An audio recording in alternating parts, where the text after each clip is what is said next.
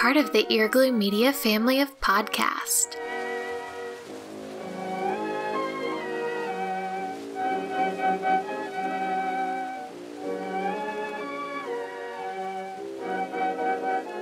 You're listening to Petticoats and Poppies. History Girls at the Movies. Welcome to Petticoats and Poppies History Girls at the Movies. We're your hosts, Maggie and Nicole. Welcome to our 13th episode and our second Friendsgiving episode this month, where we will be talking about the 2019 film Vita and Virginia. Today, we're very excited to be joined by a special guest. He's a film podcaster and writer, an expert on feminism, politics, and Scream movies, and also a very dear friend of mine, Ryan C. Showers. Well, hi Nicole. Um, I'm also a semi-expert. I would, I would, I would tell a normal person that I'm an expert of Virginia Woolf, but I'm slightly intimidated by the podcast. Um, so, but I studied Virginia Woolf a lot in school, um, and I'm a huge fan of her work and um, media depictions of her. So I'm very excited to be talking about this movie today. Well, you definitely are more of an expert on her than either me or Maggie. Although, you know, I think we both know a bit about her, but but we haven't studied her as intensely as you as you have. So I'm willing to call you an expert on that on this podcast. How's that? Perfect. So first, whenever we have a guest on, we like to ask them some questions just so that the uh, listeners can get to know them a little bit better. Um, if anyone listening to the podcast also listens to Next Best Picture, the other film podcast that I'm on, they will probably know Ryan from there. But we thought you'd, we'd ask you some questions that you know have to do with history and film. And the first one is, what is one topic in history that you are really interested in? Well, I don't want to sound like I'm taking the easy way out here, but feminism, like any type of feminist any type of feminism in, in terms of like intertwining with history um, i'm immensely interested in. Um, you know in college i was a women's studies political science communications major. Um, i'm very passionate about um, women's representation and um, just the historical arcs that um, different women's rights his, well, the history of women's rights. So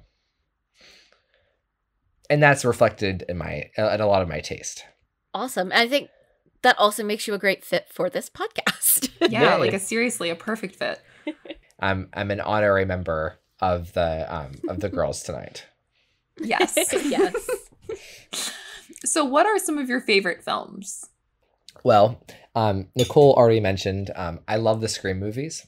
Um, they were the f- um, they were the films that introduced me to um, or at least normalized um, strong women characters um, at a young age. I started watching the Scream movies whenever I was um, in sixth grade, and um, from they really made an impression on me and my taste as I've grown into a more mature um, a di- uh, digester of art and film um mm-hmm. but also i love and i love the hours I, I would say like Scream is like the movie that has my heart, but if I was asked what my favorite movie is in terms of like awards and prestige, I would easily say The Hours, which of course is based on um, Michael Cunningham's uh, book, which is based on Virginia Woolf's book, um, Mrs. Dalloway, where mm-hmm. it tells the story of Mrs. Dalloway in three um, different representations of the character, one of which is Virginia Woolf herself.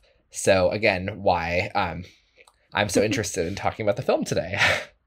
yes. It is so funny that you brought up Scream because I was thinking of you earlier today because one of my friends who works in film, she does props on movies, just posted that she just finished working on the new Scream movie. No way. Oh my so god. So she did props on it. So she's like, she says we filmed this entire movie in, you know, during the pandemic from start to finish. And I was like, oh my gosh, I have to tell Ryan.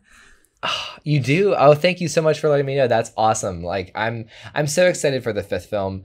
Um I'm nervous. I, I was nervous um for a long time because Wes Craven he directed the first four and um, mm-hmm. these films are very feminist um, like uh, my sister who she's kind of like a jock athlete um, but i've kind of taught her about feminism through the, these films mm-hmm. growing up uh, over the years and it's just been a great experience um, but I, I have been skeptical sp- ugh, skeptical about the fifth film, um, just Mhm. because I'm very attached to the original cast. Like the Scream films are, they've had the same cast throughout the first four, um, as, in the leading roles, and that's uh, that's uh, that's unheard of in in the horror genre. So I'm just I I don't I get the sense that they won't be the leads of Scream Five, so that has me nervous, but I'm otherwise excited. So Very good. yeah.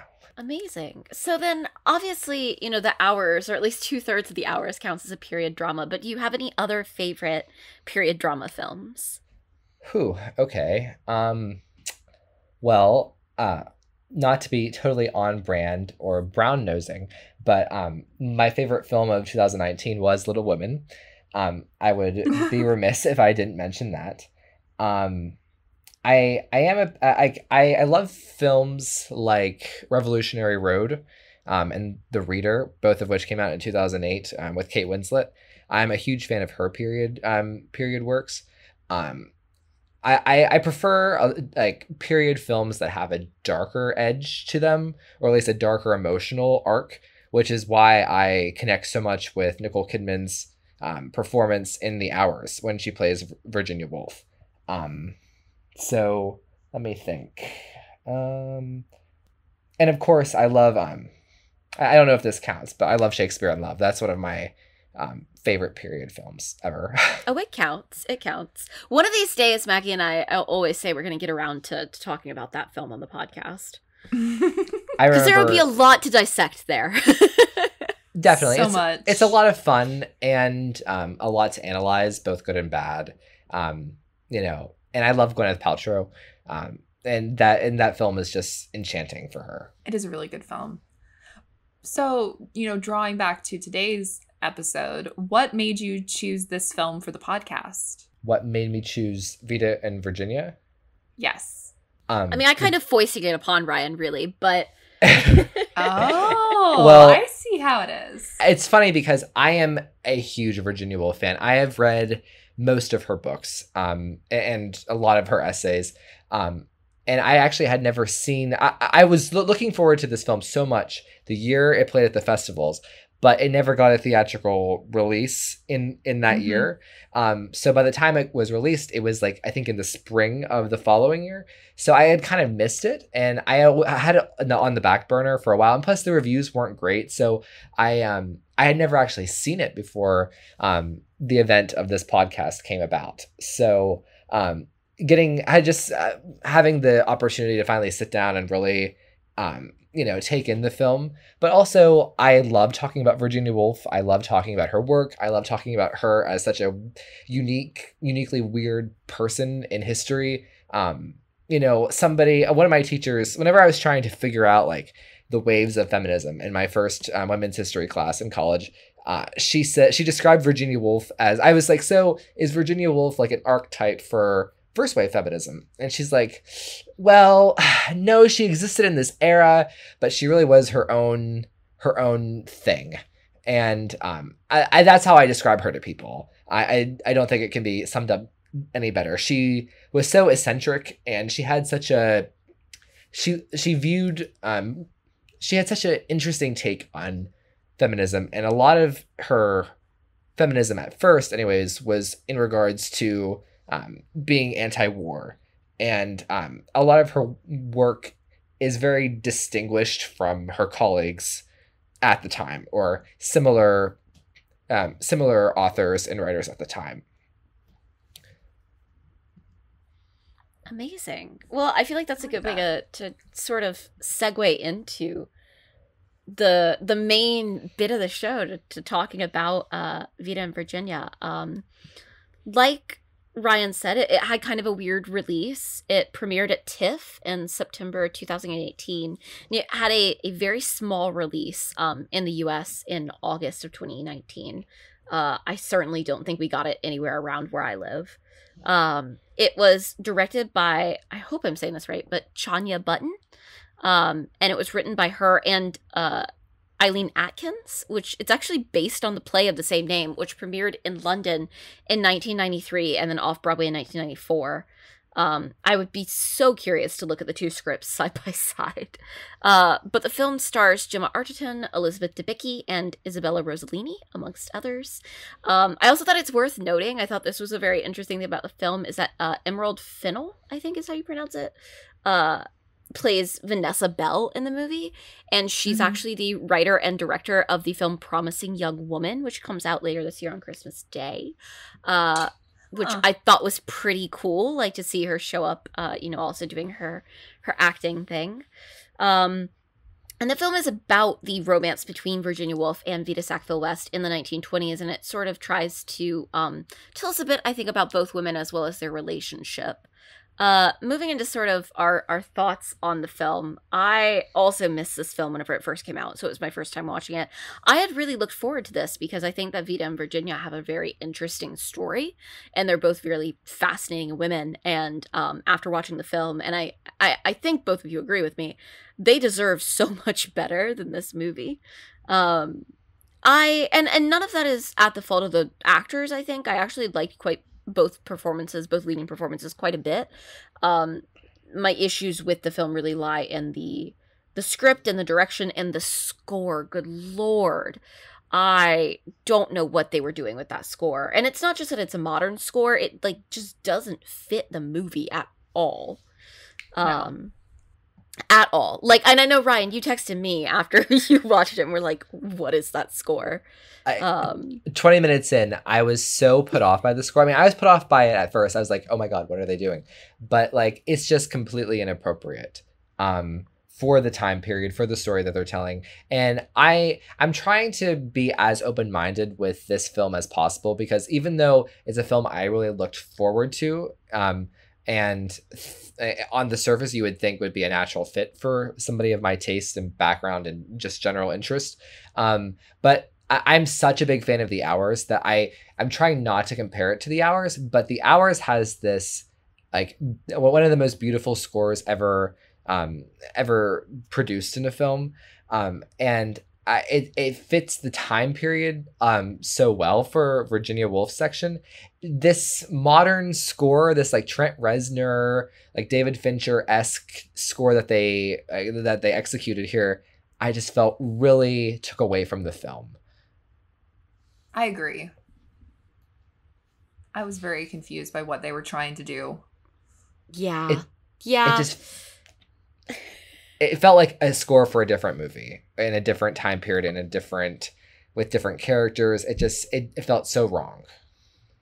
It literally felt like maybe they had just accidentally put the score from a different movie into this movie. Um yeah, I I you know, I have a handful of issues with the film. The score is one of them. One is like this is going to sound funny, but there's just too many men in this movie and like every scene I was like can we just leave the two of them alone? Um and let them do their thing. But i like that it tries to like make use of their letters and actually like directly quotes from some of their letters to each other. Uh the way that they included the letters really didn't work for me. And it's not I, w- I was trying to figure out what exactly about it really didn't work because i'm not opposed to the whole like uh someone you know reading the letter looking directly into the camera. I think you know you mentioned little women earlier and that's done incredibly well in that movie but it just really didn't work here uh, I did like the production design. I thought some of the houses that we got to see were quite lovely. Oh yes, Um, insanely the cost- gorgeous. The costume design, eh, I liked some of it. I liked some of the pastel looks. I liked Vita's high waisted pants. I didn't think it fit the film perfectly well. I felt like they were trying to do some things with it that weren't working, and Mhm. I particularly wasn't loving how they costumed Elizabeth Debicki as Virginia Woolf. Um, but like it, you know, it wasn't the worst part of the movie. Um, there's a lot of pacing issues in this film. Yeah. Um, and I do think the last 20 minutes of the movie are by far the strongest bit of it.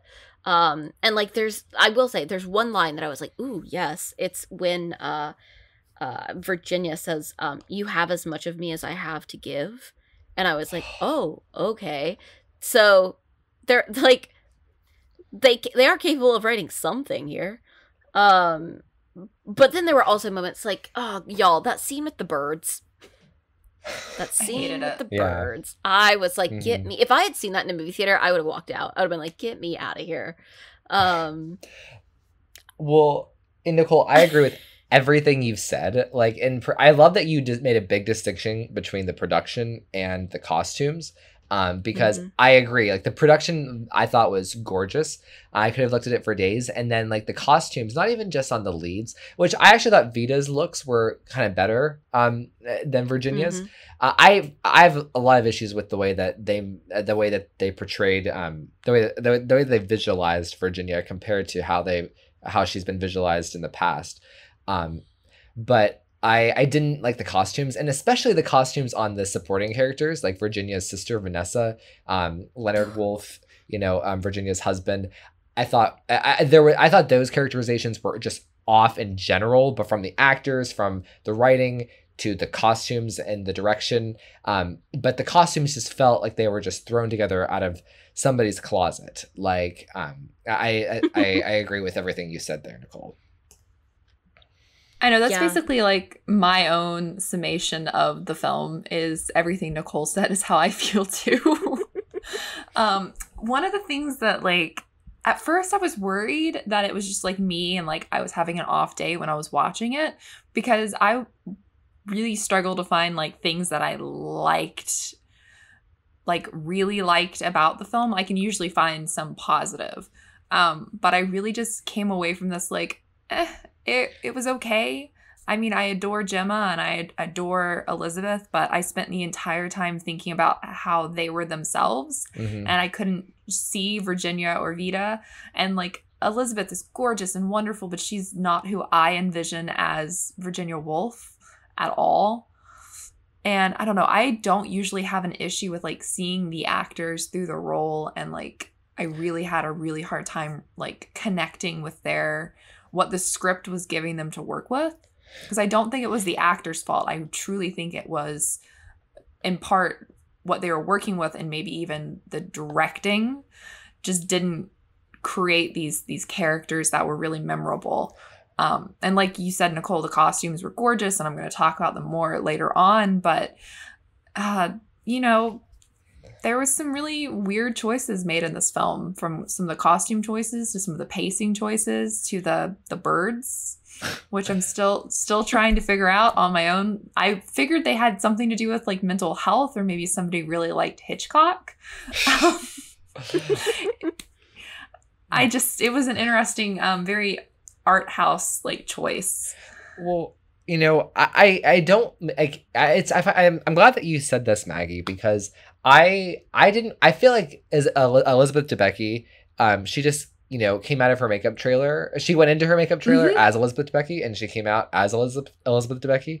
Um, like you know, there's a reason Yeah. why Denzel Washington, when Nicole Kidman won the Oscar for playing Virginia Woolf, why he said by a nose Nicole Kidman. Like the the hours went out of its way to um really make Virginia Woolf's distinctive appearance come through. Um, and I feel like here, even even if the hours went too far in making her um, disappear into the character, this film doesn't do it enough. Um, and that was a huge problem for me on a performance. Uh, it, so it was hard for me to almost appreciate what Elizabeth Debicki was doing uh, because I, I didn't feel like I was watching Virginia Woolf. Um, and I, and I actually don't really like the way that the film um, portrays Virginia Woolf. Um, I don't think that they get her personality quite quite correctly. Um, she was a, a complex person, and she had a very um, lively sense of humor. And Elizabeth Debicki's performance does not capture that at all. She plays her as someone who's more deranged than, um, eh, which eh, is kind of very shallow, a very shallow interpretation of Virginia Woolf. Mhm. I would argue. Whenever Virginia Woolf was known for being, I wouldn't say gregarious, but she had a weird, uh, like a very, um, a very malleable sense of humor. Um, and it- that was lost, and there were, and like totally lost. And uh, I, I don't, I don't know. That's I, I just feel like they they missed they, they missed a huge opportunity to really bring a three dimensional version of this um, um, hugely important author in history to life. I agree 100%.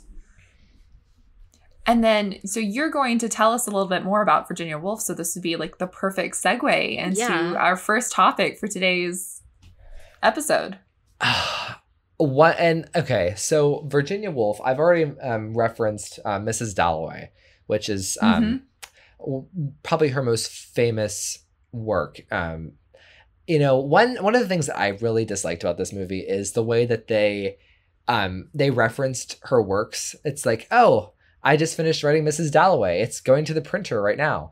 Like, do you know a huge theme in Mrs. Dalloway is um, lesbianism, bisexuality, and like, for the life of me, I can't believe that they would skirt over Mrs. Dalloway. And they, they reference Virginia, like their completed work, but they don't like. There was such a a, a missed opportunity to link up Vita, Vita and Virginia's relationship with some of the content or substance of that book.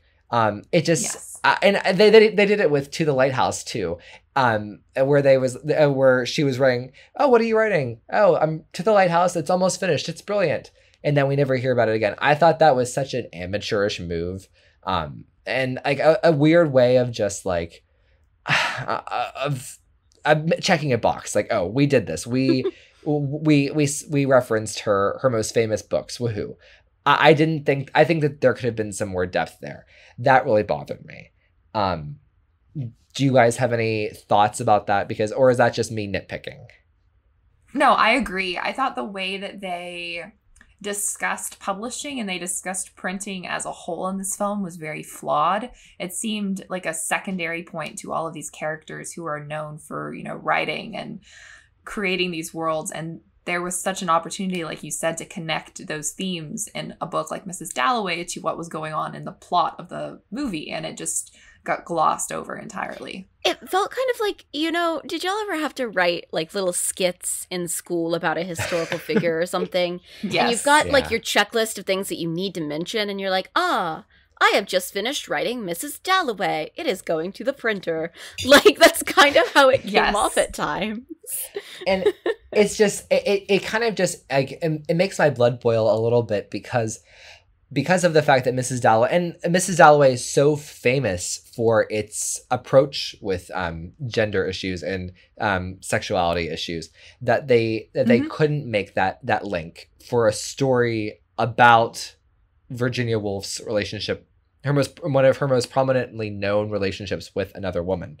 Um it, it frustrated me um on on that level. I um and i also i don't think that they i the film really it was hard for me to break through with this film at first because it felt like it felt very repetitive for the first hour in my opinion. I felt like Yes. vita was so um persistent with virginia um and virginia was just pushing her away.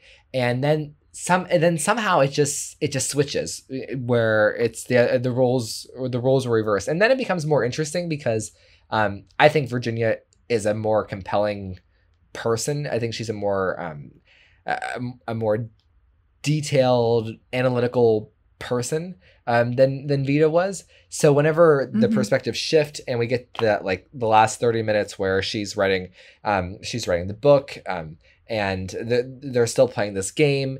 I, that that that stuff was so compelling.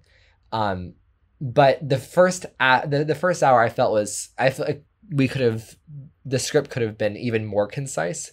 Um, Mm-hmm.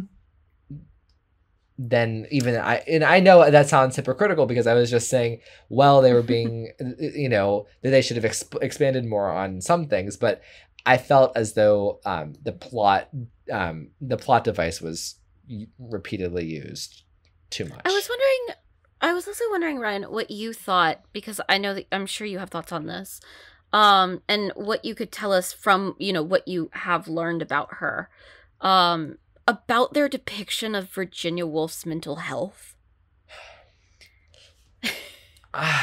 It it seemed like it was just on my like opinion of this. It felt like it was written by somebody who had only ever like heard about mental illness secondhand. It mhm. was so oddly framed. Well, not only that, but I just feel as though they didn't approach it one with a huge amount of intimacy on one level, Mhm. but then also I I I didn't I felt like it was a very um shallow interpretation of mental illness which kind of goes back to what I was saying earlier um, about like Virginia's sense of humor. Like they, pl- I felt like they contrived Virginia as uh, as just this like I, I felt like this movie wasn't well researched enough on who Virginia Woolf was and mental illness and Virginia Woolf and ment- mental illness her and her specific um, mental illness combined you know what I mean I felt like there was a lot of um, a lot of depth that they missed and it comes off not not as a caricature but it comes off very uh, it comes off very shallowly I wasn't it's gonna impressed. sound funny, but there were times where I almost felt like the film made Virginia into some weird like manic pixie dream girl for Vita. Um, yes. yeah. especially in like I mean, I'm not super well versed on Virginia Woolf's like specific mental health issues, but um clearly they weren't either because like the scenes that dealt with it, I was like I can't decide if they think that if they're just going for like and I hate to use this word, this is not something I would use, you know, to, to talk about people who are mentally ill, but it felt like they were like, "Ooh, she's crazy." Yep. Um, and that was kind of all that they ever did. They were like, she's crazy and she's sad, and that's it. That's that's mental health. There was And no like, nuance. there was no nuance to the mental illness, which And- is shocking given that this was made now. last year. like it came out last year. I would expect this from a film from like the seventies. Right. No, they just they made her seem as though she was just this like um manic like um you know prodigy but like I think that they they were on the right track with her melancholy um Mhm. sadness uh, but they uh, they didn't couple it with the more dynamic parts of her personality and how her um her her her attempts at suicide, her struggles with um, where she lived and how she interacted with her surroundings. Um, I, they didn't uh, they didn't intersect that, or just like how I said before, she had she was a very clever person. Like she was very funny, and that she was like th- that was not in the film. The film does not portray her as a human being. They portray her as a very flat quote crazy quote person, as Nicole said. Like not and it, it's almost lacking in respect. Mm-hmm. Tremendously so. Yep. Um. Well, I feel like I uh I, I don't want to say that we've exhausted the topic because we could honestly talk for days about the ways in which this film gets Virginia Woolf wrong. But Maggie, I know that you did some research in the Bloomsbury set, which is one of these topics that uh is briefly mentioned and kind of hinted at, Mhm. but they never actually get into. Uh Yes. and I feel like I am also a little like curmudgeony about the Bloomsbury set. So I'm very sorry for anyone listening to this who might ironically like the Bloomsbury set. um, so they were only mentioned really in passing in the film. Um, they existed during the first half of the 20th century. Um, it was a group of English writers, intellectuals, philosophers, and artists. Um, essentially, they were extremely privileged people who saw themselves as bohemian free spirits, and they dabbled in the arts, um, but in no way did any of them really rely on that for gainful employment. It was really just like a hobby. Um, they began meeting at the London home of Virginia's sister, Vanessa Bell. And the group first got its name for the, the Bloomsbury set um, after Vanessa and several of the other members put up an exhibition called the Second Post Impressionist Exhibition. And that was in 1912. Um, and most of them actually lived in the garden district of um, the Bloomsbury like garden area in London, um, which is where the name came from. They were all wealthy. Um, some of them were more middle upper class um, as well, but they were also politically liberal, sexually liberal. Um, there was lots of rumors about affairs amongst themselves. Um, it was, you know, it was a bunch of rich people having fun, and they would meet a couple days a week, and they had different like Friday was for art, so all of the artists would convene, and it was, I mean, rich people doing rich people things. Um, um, there were 10 core members, and then there were an additional 13 supposed and rumored members. Um, I wrote up a list of all of the members of the core group.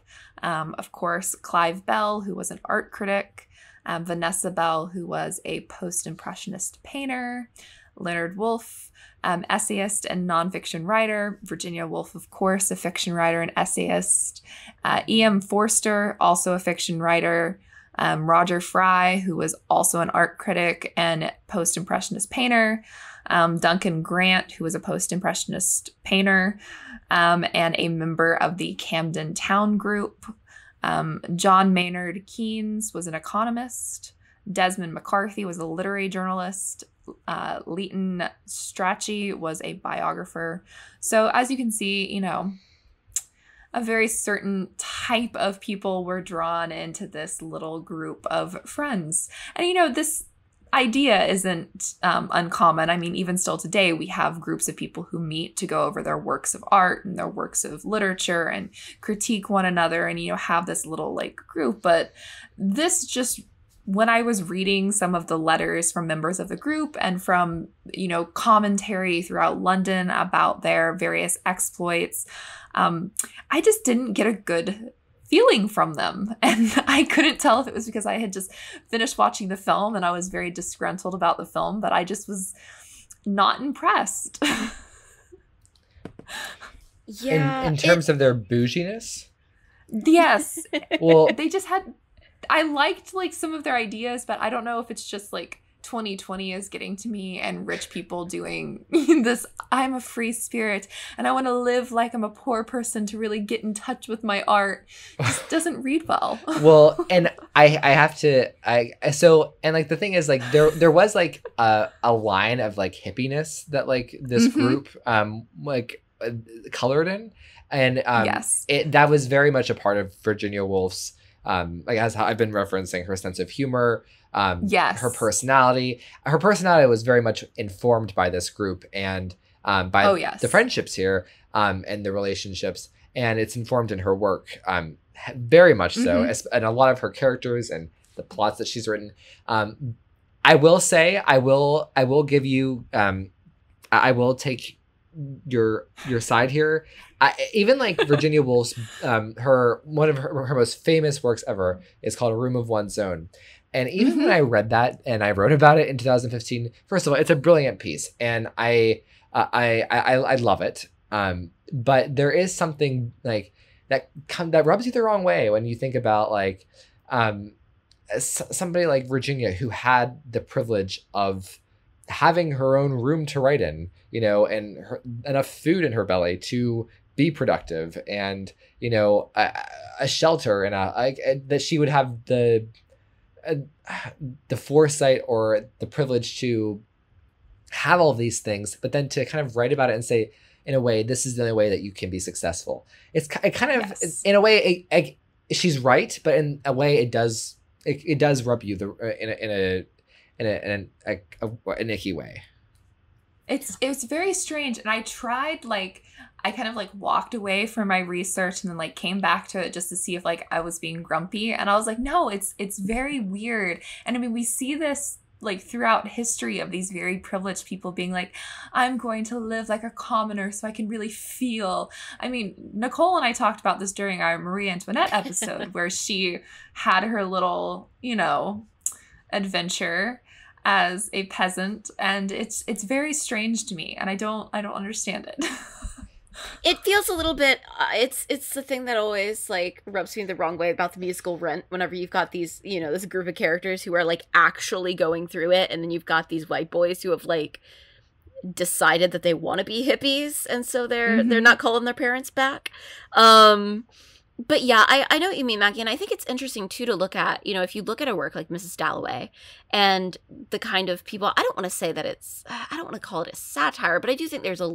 a a level of self-awareness and a level of um it it knows what it's saying about the people that it's writing about and then you look at this group of people and it's kind of like okay virginia saw you all for what you were.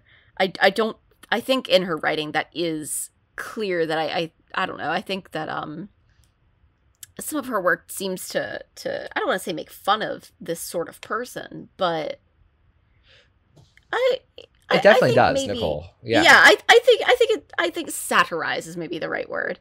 Um, poke fun at um, this sort of person, and I think that's really interesting that she is in this group, but she's also able to sort of look at them and recognize some of their flaws. Well, and you know, Mrs. Dalloway, um, as as a as a book, it's it has two um, parallel storylines. One about Mrs. about the character of Clarissa Dalloway and her reflecting on her life and her decisions and um, her planning this party, uh, uh, uh, you know. And the other storyline is about a soldier, a soldier um, coming back from World War One, and he has mm-hmm. a shell shock. So I, and again, you know, Virginia Woolf's, I would say her primary public issue um, was about was her stance on the war, on on war in general. Um, so mm-hmm. I think she was very self aware of the that social um that that social click that you're talking about, Nicole. But also, you know, I, I think the way that she contrasts it with the with the, the study of shell shock um, in Mrs. Dalloway is very poignant. And to your point, it I she is I think she is self aware and making a grand statement about the bourgeoisie. Absolutely. Um, I feel like that's that's a good time to segue into talking about Vita. Oh, Vita Sackville West. So I've prepared a little bit of a biography on her because I do think that people listening to this are likely to be less aware of who she is. Uh, it's very interesting to see that the film does point out the fact that Vita was significantly more successful in the time that they were together, um, both critically and commercially, than Virginia was. And yet, today it's Virginia's, you know, books that we read and that we are assigned in college classes and stuff, and not Vita's. Um, and I think that she has in some ways been forgotten. Um, you know, or or she's become a footnote in Virginia's story, which I think is interesting. But she was born uh, Victoria Mary Sackville West in Kent, England in 1892. She was the daughter of the third Baron Sackville, and she was the granddaughter of a Spanish dancer. Uh, she, of course, grows up to become a novelist and a poet, and she marries Harold Nicolson, who's an author himself, actually, and a diplomat after she's courted by several men, and she has a handful of affairs with both men and women. Um, both Harold and Vita had same-sex relationships outside of their marriage. I think that the depiction of Harold in the film is is a little bit off. Um, he was also a writer. He also was having uh, these relationships outside of their marriage. I think that they maybe portray him as a little bit more um how do I say this? A little bit more traditional than he actually was. Um she did run away with her lover Violet Keppel in 1917 and caused quite the scandal. Um, but that actually was a thing that happened repeatedly. That wasn't like the one and done that the film would, I think, want us to believe. Like that they kind of just kept running away together, and their families kept coming, being like, "No, please come home," um, and they would, and then they'd do it again uh, which I thought was very interesting. Uh, Vita was the mother to two sons who she seemingly had a very good relationship with, despite you know her her uh, busyness otherwise.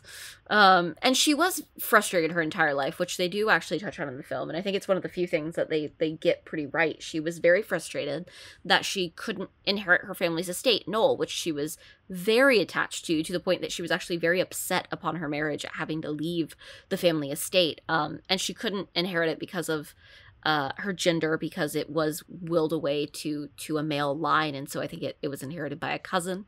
Um, uh, but I thought that was that was an interesting thing. Her her best known novels are The Edwardians and All Passion Spent, neither of which I had ever heard of. Uh, no. yep, I was like, I don't know if either y'all know those. I'd never heard the names before. Um, she also wrote gardening books and biographies. Um, and as in the film, she was the inspiration for Virginia Woolf's novel Orlando. Uh, Vita was 10 years younger than Virginia, actually, and was very glamorous and very successful. Um, and I thought that, that was an interesting thing. I don't think that it reads in the film as her being significantly younger than Virginia. Um, the relationship lasted around 10 years from 1925 to 1935, sort of off and on. Um, and the years in which they were together were largely believed to be sort of the artistic peak of both women's careers. Um, I also thought it was interesting. Vita publishing her books through Virginia and uh, Leonard's publishing company really helped them out financially um, because, as I said, Vita was actually quite successful. Um, and so that sort of helped them financially be able to continue doing uh, what else they were doing. Um, and Vita died in 1962 uh, at the age of 70 from abdominal cancer. She went on to continue having affairs after Virginia. Um, and I think was a really interesting woman in in uh, how freely she was able to live. I think it's it's interesting. I didn't, you know, prepare a lot of research on this, but there were laws in England at the time about homosexuality, um, prohibiting um, male relationships, but basically they forgot to write into a lot of these laws that uh, women could also have same sex relationships. And so a lot of women were able to sort of skirt these laws and be more open in their affairs because these laws weren't seen as applying to them, um, which I think is kind of hilarious uh, whenever you think about it. That men did not even consider that women might not be interested in men. Men men being interested in other men was a thing that they could understand, but not women being interested in other women. Um, but that's part of how like Vita was able to be fairly open about her bisexuality um, at the time, which I just think is really fascinating because I think whenever you typically think of people, you know, who were born in the 1890s, you wouldn't think that they could be so openly out. Um, and it's part of, I think, Virginia Woolf's story that I think people even are sometimes, um, I don't want to say they want to ignore it, but I do think that uh, it doesn't always get talked about with Virginia Woolf, um, or it's kind of hinted at. Uh, so I just thought that that was really interesting. She's she's an interesting figure, and I'm not positive that this film actually did her justice. Well, can I ask? Because I don't know nearly as much about her um, as I do Virginia. Was she mm-hmm. as gregarious as the film portrayed her? It seems like it. She was um she was said to be very glamorous and she was very popular amongst uh different groups of people. Um I think it's interesting that she was sort of able to flip between uh doing the whole diplomat's wife thing and being an author and being sort of involved in more creative circles. Uh but I think she definitely was uh from what I could find quite outgoing. Um although she did at times get quite exhausted whenever she was sort of playing diplomat's wife. There was a time that she did live in um, Constantinople and she eventually went home because she sort of was getting exhausted from the stress of doing all of the the sort of dinners and the parties and the whatever that she's exposed expected to sort of play proper wife at um mm-hmm and I mean, of course, that that's what's said. Or did she just want to go home? Who knows? Um, but I do think that she was probably um, more outgoing than someone uh, like Virginia, and it does seem like she pursued her maybe not as intensely as as in the film. And I also think that uh, the age difference that they actually had, where Vita was you know 10 years younger than virginia um maybe puts a slightly different dynamic on it. Um but she certainly thought that virginia woolf was a genius and was determined that she would know her. See, Nicole, that would be so interesting to see in the film because, like, this is, um, you know, Virginia Woolf's relatives who have seen this film have criticized it for several different um, reasons, but one of which is the age, the ages of the mm-hmm. actresses cast and how it's not true to life. I would have been so interested to see the way that um, a film would portray this relationship where a younger woman was pursuing an older, a slightly older woman, uh, be- with because she's a genius. Like that to me is interesting, and honestly, it makes so much more sense the way that you just described it than how we see it in the film, um, because it doesn't come across as like you know I'm somebody younger and I'm more attracted to older, older, older men so I can, uh, I, I, to me, I think seeing somebody younger going after Virginia Woolf because she's a genius and wanting to um, eh, understand her eh, be eh, be a part of her life that would have been that would have made so much more logical and narrative sense. And it doesn't come across in the film. It just comes across as like the genius element is still there but there's it, it feels incomplete the motivation to me. I agree, and I think that it is interesting because they try to show you in the film, but it almost feels like in the film that Vita wants to know Virginia because oh, she's a genius, and like almost I don't want to say that it makes her seem like it's a status thing or something, like oh, I'm friends with a genius. Um, but I do think that It felt that way in the film, though. Okay, yeah, right. Like I, I was like, am I the only one who got that? And I don't think that's what it was. I think that, you know, Vita knew that Virginia was more gifted than she was. And rather than being I like I think it actually says something quite nice about Vita that rather than being threatened by that or being jealous, yeah she just wanted to know Virginia. She wanted to be involved in her world and she wanted to see if, you know, she could learn anything from Virginia. And uh, she knew that she would never be the writer that Virginia was, but she also knew that she was more financially successful with her writing.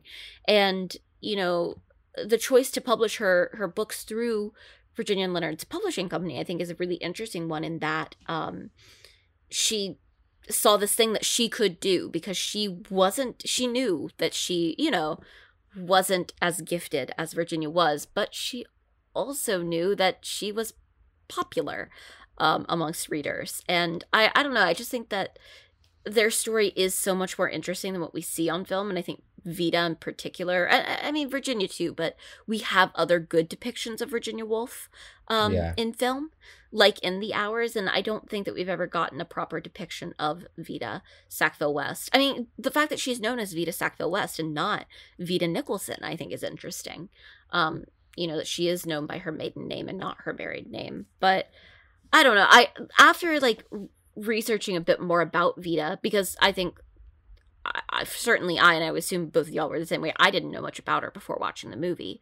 Um, made me No. really wish that one day we could get like a proper biopic on her because I would I would love to see her depicted on screen. I would love to see her relationship with Virginia depicted on screen in a more accurate and thus more interesting way.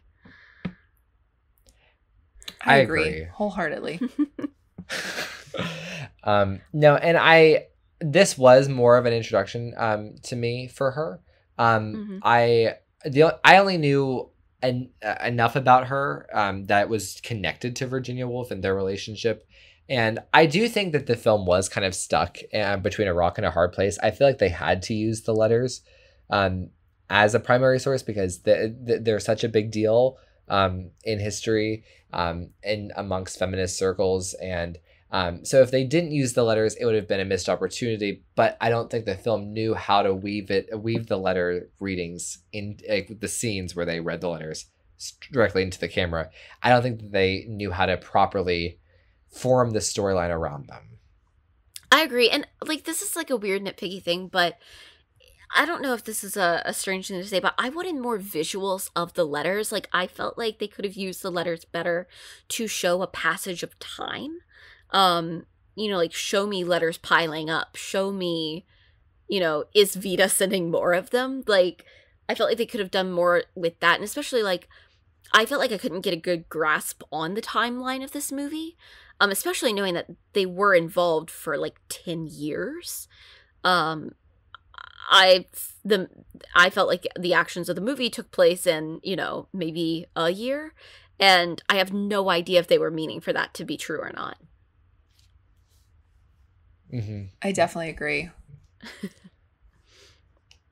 well maggie i know that you've done some research as you always do on the costuming and i would love to hear what you found because uh, the co- i have such weird feelings on the costumes in this movie Me too. So do I. So do I.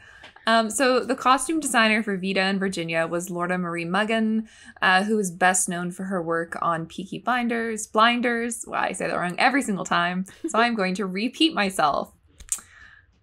The costume designer for Vita and Virginia was Lorna Marie Mugan, who is best known for her work on Peaky Blinders and Ripper Street.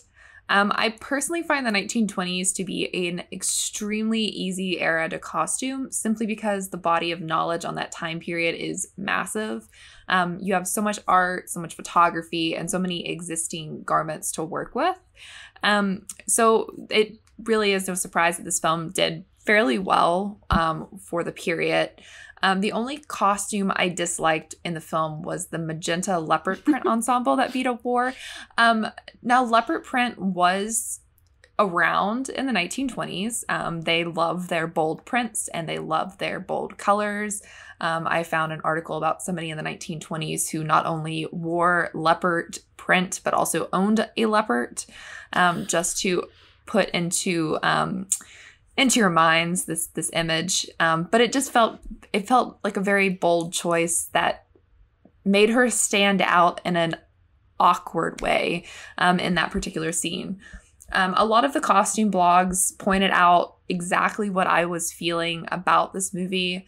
The costumes were historically accurate, but they paired them in a way to try to make statements about the characters with the clothes because the plot failed to address it on its own. Um, so rather than showing us that Vita and Virginia had these very specific personalities, they tried to use the costumes to show that, and that just felt very forced, in my opinion. Um, and some of that is really seen with Vita's clothes. Um, the constant like weird combinations of patterns when she was wearing the like the pants and the jackets just trying way too hard where you could have done a lot with the actual plot surrounding that character um, I did find an interview with Lorna where she talked about um, Vita's first costume being her favorite. Um, the quote said, My favorite design for Vita is the black and white silk shirt with the ruffle collar and the cream palazzo pants. This is her interpretation of a tuxedo. It's elegant, sensuous, and quirkily androgynous, um, which does seem very um, fitting for Vita's character. Um, I also found that Virginia Woolf um, was a bit of a fashion icon in real life, um, yet the film really downplayed her fashion sense, um, opting for more drab, neutral tones, um, a lot of darker colors, um, which the costume designer said was an intentional choice for Virginia, um, which kind of felt at odds opposite Vita's very bright, wildly patterned pieces. Virginia in real life um, really enjoyed bold floral patterns, um, big hats. She favored pinstripes, none of which were employed in this film. Um, so I just thought that was an interesting choice when you have this real life character that you can very easily find information about their fashion sense and their personal preferences um, to do something opposite of that in the film. It was a very unique choice. Um, overall, I mean, if I was giving these costumes like a one out of 10 scale, I would say they probably fall somewhere around like a seven and a half. Like overall, good, some choices that I didn't agree with. Yeah, I think you really hit the nail on the head there, Maggie, and that like they're actually decently period accurate costumes. Mm-hmm. Uh, they just don't do well in terms of character building. Um, and and they don't feel accurate to the people who are supposed to be wearing them. They just miss the mark like entirely. Yeah i agree. And this was like another point where i was like am i just being overly judgmental? No i don't think so. I i think that there was something missing from for me personally um, there was something missing from the aesthetic that didn't um, that didn't wow me Mm-hmm. In, I, in the same way. I, yeah, go ahead. Go ahead. No, go no, ahead. I was just gonna say there was just like whenever whenever you watch this film, like I, for me, the production, like I was, I, I do a double take, like wow, you know, it's striking. Um, I didn't have that reaction with the costumes, where there wasn't like a huge, like, like, like you said, they're not inaccurate, but they're just they're very lackluster. Mm-hmm my mom and I always have this saying that you can make a bad show good if you have good costumes. So it was just interesting that like both missed the mark. Yeah. Mm-hmm. And they both had such potential for being good, both the plot and the costumes, but paired together, it felt like at points that the plot was leaning on the wow of costumes to like make you forget what was going on and then at other points the costumes were hoping that the plot would pick up where they were missing and i feel so bad to say that because like both were okay it was just subpar Definitely. I think honestly, like that's sort of how I would sum up this film in general. It's not like the worst film I've ever seen. Like I'm not trying to say that this is not, the, not the Great Great Wall. Wall. Yep. you know what? It wins points. Matt Damon's not in it. Um so thank God we didn't have that. Uh oh my god, now I'm imagining like Matt Damon as like Leonard Woolf or something. Hey, I just want to let you know while we're talking about Matt Damon for a second, the cinematographer on this film Oh god. worked worked on the Bourne Ultimatum, uncredited as a second AC. Just wanted to let you know. Maggie can always find a link between whatever film we talk about and Matt Damon just to make me mad. And I, I truly thought her. I wasn't going to make it this time. I went through every single actor nobody had worked with Matt Damon. None of like the costume department had. And then I was like, what about the cinematographer? He also worked on Wonder Woman, so I mean, like, I have Oh a weird God, connection there amazing. too. So well, Maggie, are you were you a history person in college? A history major? I was, yes. I have a degree in historic preservation, and I'm working on my graduate degree in anthropology. Well, you're very well researched, and I'm impressed. Thank you. That's uh I feel like that's the thing about history people is, you know, we have all these research skills that we learned for good purposes, but um then we, We put them to use use them for, for other things. yeah. So I feel like, you know, just to to wrap up, my final thoughts on the movie are just um Vita and Virginia as like the actual people deserved better. And two, if you'd like to see a period drama in which Gemma Arterton plays a lesbian, I would urge everyone to check out Summerland, which came out earlier this year. It's uh, as of this week now on DVD and Blu-ray as well. Um, it's a beautiful, beautiful piece, uh, and it's much better than anything in this film. Maggie, will have to check that out. yeah. Any final thoughts from you on Vita and Virginia before we wrap this up? Um, I mean, watch it if you haven't. It's on Hulu. Um, you know, it's a movie. Oh, a ringing endorsement. It's a movie. there there are better Virginia Woolf movies out there. That's what I can say. Yeah, honestly, I feel like watching this movie is like, so, uh, anyways, stand the hours for clear scan. Uh, Yes. oh my God. Yes. yeah, Ryan, your final thoughts on this? Well, I, w- I would like to end on a, on a positive note. I will say I was about to like abandon the movie, not abandon like as in stop watching, abandon as in terms of like stop giving a chance to. Give up. um around like the one hour mark i was like so no I, I was so fed up i was like oh my god um but i will say once um once virginia's perspective becomes more apparent and she um begins to write orlando i did feel the velocity really kick into high gear with the plot and i thought like it was there was a very compelling arc to the film um where you know once it gets going it is uh, it is very interesting and it did um, take my overall grade up um, a, a, a, a, number or two. Um, I, I, think that they I, I- it could have it could have been better with build up and um, a different overall characterization of Virginia, but I thought that the last 30 minutes that we got were at least worthy on several levels. So um, for all the problems that I have with the film, it is um, it, it would be worth watching just to see that final progression with the two characters Mm-hmm. even if it's not absolutely agree with that. accurate or if it's if it, if it could have been better um uh, overall um characterization of their relationship which i do hope i don't mean to be so shady but i do hope that we someday get a better film or miniseries about vita and virginia and their relationship because it is so interesting and um and i think the, this film shows the potential um of the relationship without you know giving us you know without acting on that potential if that makes sense so I completely agree. Um, and I do think, like you said, it is worth watching. Uh, but I would say watch it and then also watch the hours if you've not seen that, and also you know do a little bit of your own research on both Vita and Virginia because they are fascinating women. Um, and I think there's a lot, a lot to learn about them. I honestly am personally considering uh, looking into seeing if I can get my hands on some of their letters to read. hmm All right. Well, thank you so much for listening to our 13th episode of Petticoats and Poppies History Girls at the Movies. And a huge thank you to Ryan for guesting on this episode. Well, thank you guys for having me. I really appreciate you guys just listening to me rant and go off on tangents about this obscure, curious, mercurial woman from, you know, a a hundred years ago. So, Yes. And make sure to tune in next month for some very special holiday themed content here on Petticoats and Poppies. You can find us on social media at HGATM Podcast on Twitter, Instagram, and Facebook. You can find Maggie at Maggie of the Town. And you can find me at Nicole Ackman16. Ryan, where can they find you on social media and where can they read your work about film?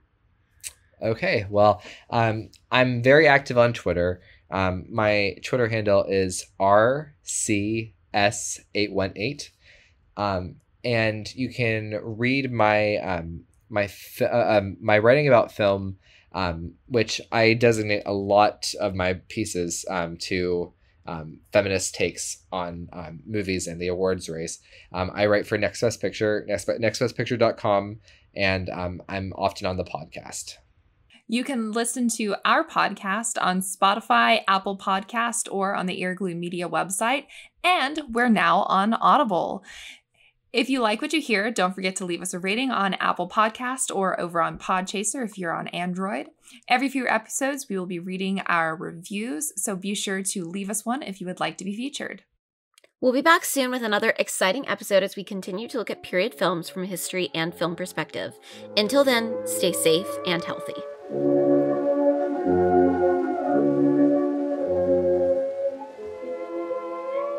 You've been listening to Petticoats and Poppies. History Girls at the Movies.